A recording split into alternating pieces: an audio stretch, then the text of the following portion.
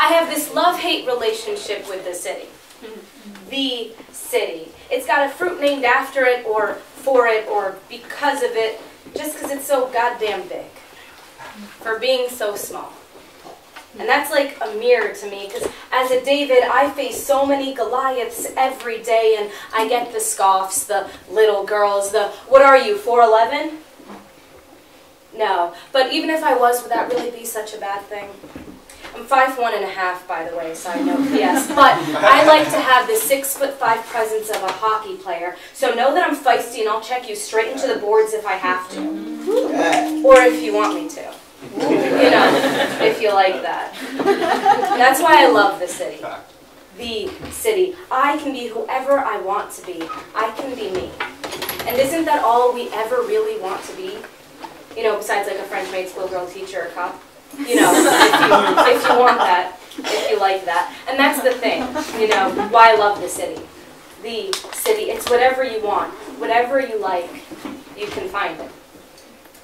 It's funny because I've always wanted to be able to leave at a moment's notice without leaving any traces behind. I think it's why I walk so fast, but it's hard when I've attached so many price tags of memories to each item I hold. I have difficulty throwing some movie stubs away. My mother kept strands of my sister's first haircut, and I couldn't toss away the old notes I wrote to Santa Claus. Or the old diaries when I wrote about how my sixth grade self went to an open casket of a classmate and wanted to trade places because I have never seen so much sadness wrapped up in a room, and I wanted to undo the event like plucking a bow off a present. I have the old flip phone that broke.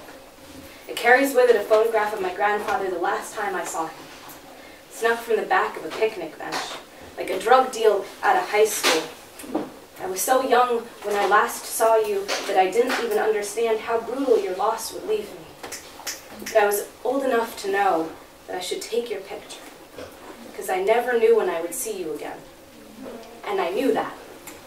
And I knew that the last photo I had of you, I was young enough to sit on your lap. You were teaching me how to not lose my nose. You always had. I've seen your gravestone more often in the past five years than I've seen you in the past 26. The weather never stopped me, the time never stopped me, and sometimes family would try to stop me. So I kept our visit secret, like a drug deal at college. So I'll visit and forget the crevices of lakes etched on your face. But I know I have it, buried in a phone, buried in a drawer, buried in the back of my mind. That's why I hate this city. This city. It reminds me how close our demons are. Can give us the key to opening boxes we've locked for our own good. Because you can be whoever you want to be. And sometimes we all shouldn't have the option of anything.